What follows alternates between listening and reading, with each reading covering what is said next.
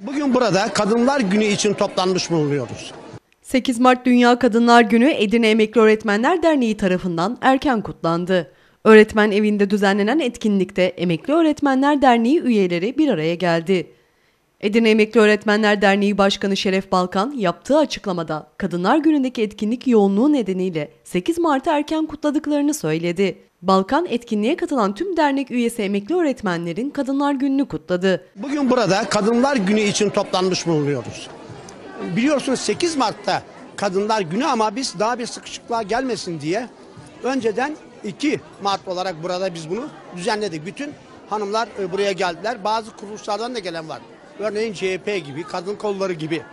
Şimdi 1800'lü yıllarda Amerika'da fabrikada çalışan kadınlar durumlarını iyileştirmek için bir mücadele verirler. İşte haklarımız verilsin, ücretlerimiz artırılsın gibi. Ama bunları bu sanki bir direniş olarak kabul edilir patronlar tarafından. Ne yaparlar? Başka fabrikalara sıçramasın diye bunları hapsedercesine kaparlar. Ama sonradan burada bir yangın çıkar. Bu yangından sonra 129 kişi ölür. Bu insanlar daha sonra e, de- değişik tarihlerde e, şeyin yarısına kadar pek bu çabalar e, ne vermez? Me- Semeresini vermez. Uzun yıllar bu mücadele sürer. İnsanlar durumlarını daha iyi yapabilmek için, çalışabilmek için, hürriyet için mücadele verirler. E, Yurdumuzda da daha sonra bu işler gelişir. 1921 21'de kadın e, dernekleri kurulur. Bu faaliyetini sürdürür.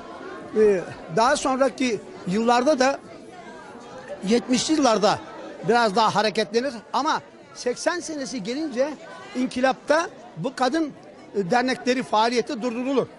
4 yıl gibi. 84'ten sonra daha ziyade 90'da yine bu kadınlar sokağa kadar da taşarlar. Hep birlikte haklarını arayan, savunan, isteklerine erişen nice mutlu kadınlar gününe günü dileklerine, saygılarımla Şeref Balkan de- demiş oldum. Dernek Sayman Nurten Toprak da 8 Mart Dünya Kadınlar Günü ile ilgili duygularını dile getirdi. 8 Mart Kadınlar Günü etkinliğimizden dolayı buradayız. Bir hafta önceden kutluyoruz. Onunla ilgili birkaç söz edeyim. Özellikle kadınlarla ilgili. Kadınım ne tarihim belli ne de suretim. Ne celladım belli ne yaşama sebebim. Kadınım başım önde yaşarım.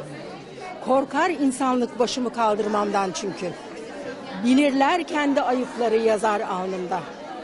Korkarlar, korkarlar, korkarlar. Neticede yine sustururlar bizi.